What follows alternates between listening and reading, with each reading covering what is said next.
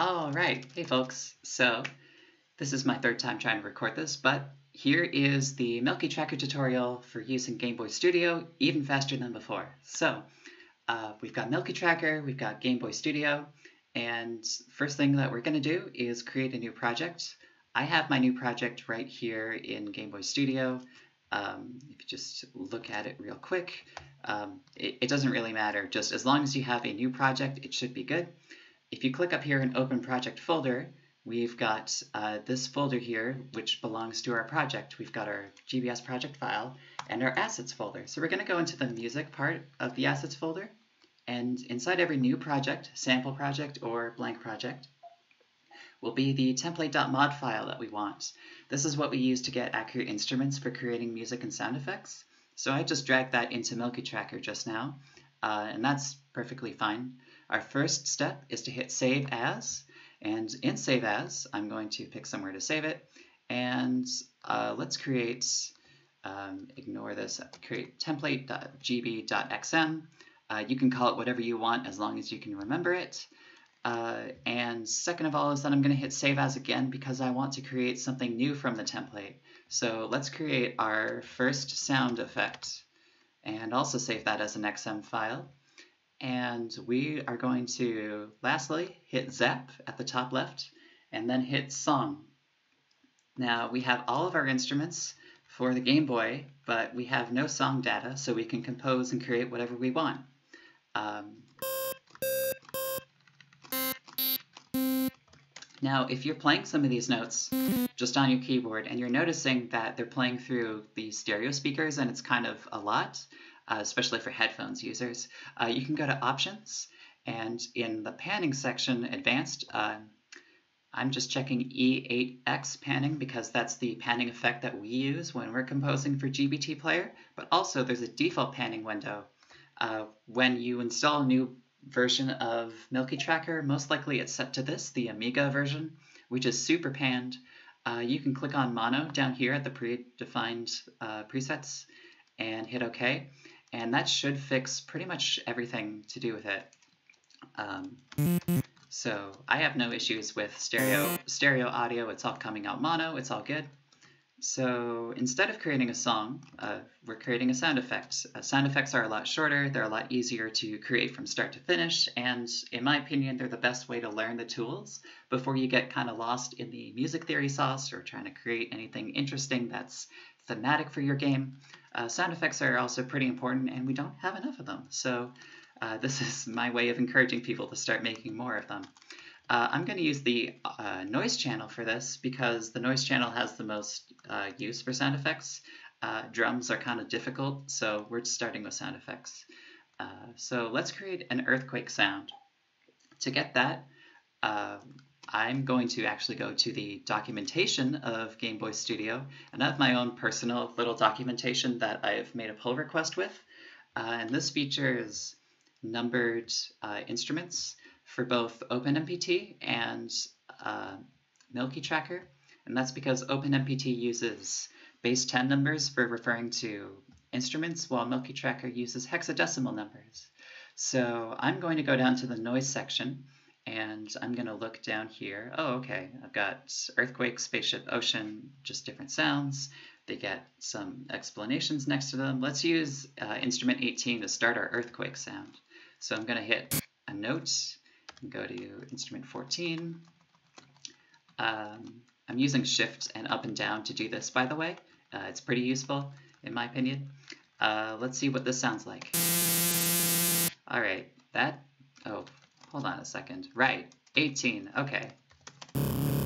Okay, that's much more like an earthquake starter, but uh, it doesn't sound perfect, and that's because when we're using MilkyTracker, uh, it doesn't matter what pitch you use for the noise channel, but it will only display the pitch of C4 in MilkyTracker, and that's because MilkyTracker uses zero indexing while OpenMPT does not, and Game Boy Tracker was written for MPT, so just bear with me, it's C4. C4 is the correct pitch that you're going to hear for noise instruments. Let's see what that sounds like now. All right, uh, let's try to progress the sound a little bit. Maybe after eight steps, let's do another sound, but let's move up an instrument. Uh, something important to remember is that with the pseudo-random noise especially, uh, these are samples of uh, just random noise that have been repeated faster and faster. So 18 is the slowest version of this waveform. 19 and 1a are faster versions, and same with 1b. Uh, uh, yeah. But um, it might be kind of hard to hear in the tracker, but uh, these are only approximations of what is actually happening in the Game Boy hardware. So let's keep that going and go maybe over to 20. Oh, sorry. Uh, we've got to use 1A because we're using MilkyTracker. Yeah, there we go. Okay. So that kind of sounded coherent because we're using from the same set of sounds. Um, let's add some volume to this. So let's maybe start it off kind of quiet. Let's go louder and then hit the maximum volume at the sort of focal point of our sound effect. All right, maybe about here we can start to drop off the volume a bit. Uh, let's go down to uh, 3, 8, 30, 28, 20, 18, 10, 8, 0,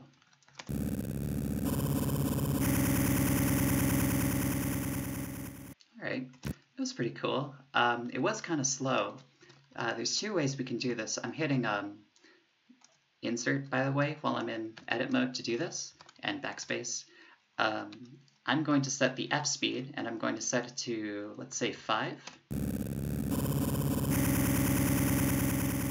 All right, that was nice, but we could get some more dynamic uh, timing happening. So if we maybe set this to F6 and then go down here to where it starts to fade out, we can set this back to uh, F5.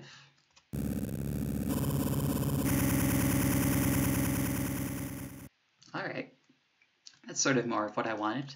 One last thing I'm going to add in is a C04. That's to smooth out the transition from this 8 to this 0.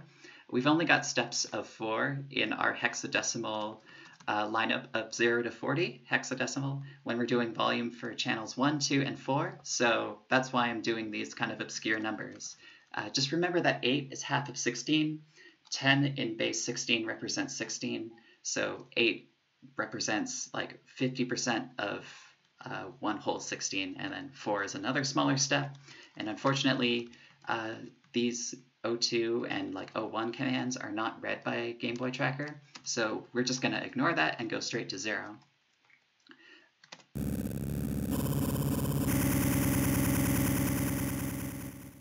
All right, uh, and something else important to note is that I'm ending with C0, so if for some reason I wanted my sound effect to loop, uh, because I'm ending with silence, um, there's no chance of a note accidentally overlapping. If I, for some reason, did this instead, um, let's let's do this on another channel. Just pretend that this is important to the sound effect, maybe some kind of like whine kind of sound. Yeah, like that. Uh, let's just say I do this.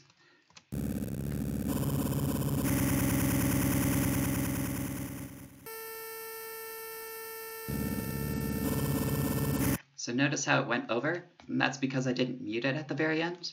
Um, it depends what you want, but most people will probably want to add a little uh, noise canceling part here for any active channels um, if they are going to be looping. But in this case, I'm not looping it, so it's totally fine. We've got our sound effects, and uh, frankly, it sounds pretty good. Uh, let's see what this sounds like in game. So we're going to go to Save As again, and for sound effect.mod, uh, so now I'm going to go back over to my assets folder for Game Boy Studio. Um, and let me just give me a second to go back over to where I keep all of my tracker stuff. Uh, first soundeffect.mod, drag that in. Um, and let's just double check that Game Boy Studio is actually like checking uh, our music resource, and in this case, it's not. Uh, this is just a feature of the build that I have right now for some reason. Uh, this will probably be fixed in the future, but if this happens, just close your project, open up Game Boy Studio again, uh, open up your project again, and You should have it if you go back to view your music. Yes, first sound effect.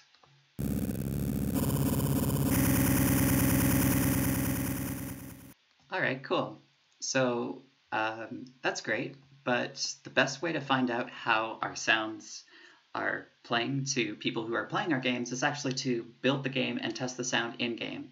So I've got a scene start script. I'm just going to show you what that looks like from the very beginning of the process is I have a scene, I have the scene start script. I'm just going to make sure that we've got some time to prepare for the music. You don't need this wait at the beginning if you don't want it. I'm going to uncheck loop and make sure I've got first sound effect selected and I'm going to save and hit build. So this is going to test our sound in game just to make sure there's no errors.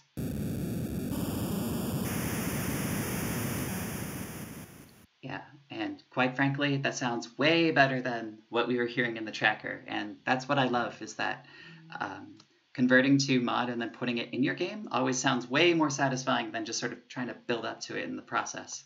So yeah, that's basically how you create these sound effects for um, GBT Player and Game Boy Studio. Uh, there's so much more that you can learn about, like the limitations of the channels, how to compose melodies, music theory, uh, creating new patterns, but um, I'll leave that for other videos to take care of because they're more MilkyTracker tutorials, maybe they're OpenMPT tutorials if you're using a different program. Uh, and also the docs are super useful now, and if all else fails, you can always ask our Discord group or maybe the subreddit. I'll put links to both of those in the description of this tutorial. And yeah, I really hope to see a lot of really cool sound effects and songs created by you guys. Uh, thanks for watching and good luck game making.